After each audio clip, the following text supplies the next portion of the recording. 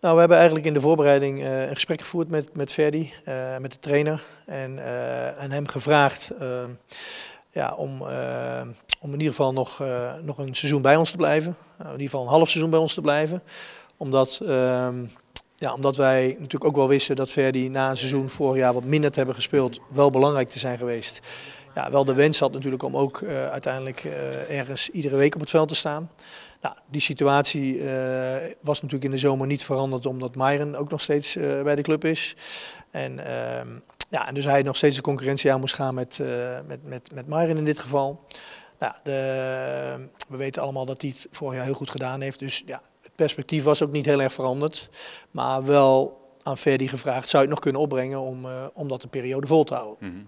Nou, daar heeft hij ook duidelijk en direct een antwoord op gegeven, dat kan ik. Hè. Uh, maar uiteindelijk ben ik voetballer geworden om, om op het veld te staan.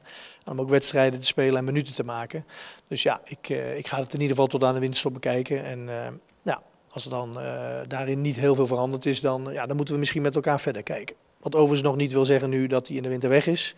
Want uh, dat moeten we allemaal nog gaan afwachten. Ja, want dan is het wel opvallend, omdat hij niet heel veel minuten heeft gemaakt, zeker de laatste paar weken niet, dat er een contractverlenging is. Nou ja, we zien wel de waarde van hem. Hij heeft vorig jaar natuurlijk uh, heeft hij een hele belangrijk uh, aandeel gehad. Hele daarin. belangrijke treffers. Ja, dus en, en dat is dit seizoen, of in ieder geval de eerste helft van het seizoen, nog iets minder hè, tot nu toe. Mm -hmm. Maar dat wil, dat wil niks zeggen. Hè. Het kan zomaar weer zijn. dat zei ik ook tegen Verdi daarnet nog even. Ja, het kan morgen veranderen. We hopen natuurlijk nooit dat de spelers geblesseerd raken. Je ziet afgelopen weekend uh, Jonas Svensson wegvallen. Mm -hmm. Dan komt er in één keer ook uh, uh, speeltijd voor Yuki, Yukinari. Hè, die natuurlijk ook altijd geduldig zit te wachten op zijn kans.